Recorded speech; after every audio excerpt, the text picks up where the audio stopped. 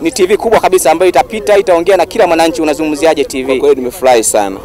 Sawa sawa, asante sana. Na mtazamaji na mdau wa PTV Tanzania, tumusuka asante sana itv yatulete uyeyo musuku wanda yatisele nasinumbula satuva tuva tuva bofu kono Kwa majina naitwa Pwereza, natokea PTV Tanzania. Nina swali moja tu ambalo ningependa nikuulize mchungaji Anthony Lusekero maarufu kama mzee wa upako wa kanisa la maombezi hapa GRC Ubungo Kibango jijini Dar es Salaam. Uh, swali langu linasema hivi. Tumeona Watanzania walio wengi sasa hivi wamekuwa wakilalamika kwamba maisha ni magumu. Eh, unapita huku na kule unaona Watanzania wanasema kwamba eh, vyuma vimekaza, pesa mfukoni kidogo zimekauka. Watu hawana pesa sasa hivi. Labda mzee wa upako ulikuwa na lipi la kuzungumza kuhusiana na hili? Mbona inakuja maji hapa ukiambia maisha magumu na kushangaa. Sawa mzee wako sadaka umetoa wewe. Maisha yakiwa magumu, Biblia inasema utakula kwa jasho.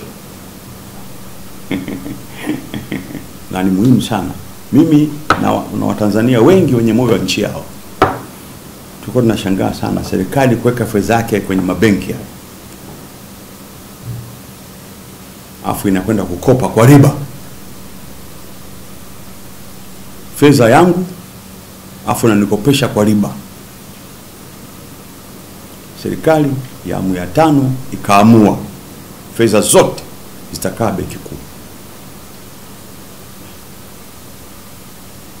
Kitendo hicho cha kutoa fedha alamu isiende kule mtaani, mtapata mtikisiko, na wakasema mabenki yote yafanye kazi na wateja wao, sio na serikali.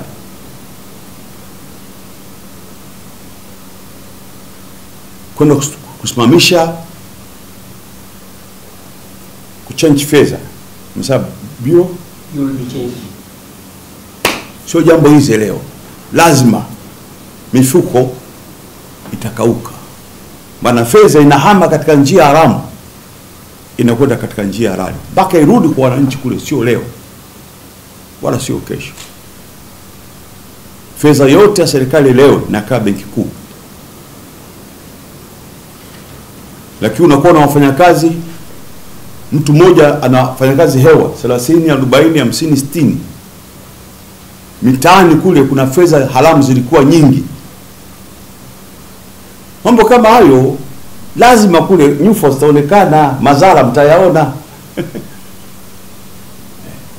Ni vizingizio tu kutafuta faraja ya muda tu. Ah, hela zimekauka, zime- ulikuwa nazo mwaka mitano iliyopita. Kwa hiyo nasema watu wakifanya kazi za halali, mi naamini. Fedha ipo, na baadaye haya maji makubwa haya.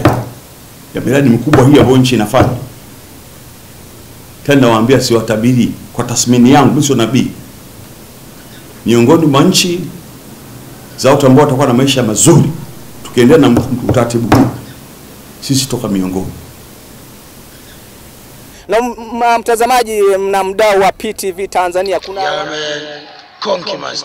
Asante kwa kuichagua PTV Tanzania. Kuwa wa kwanza kutazama video zetu kwa kubonyeza subscribe button nyekundu hapo chini ya skrini yako, kisha bonyeza alama ya kengele itakayojitokeza.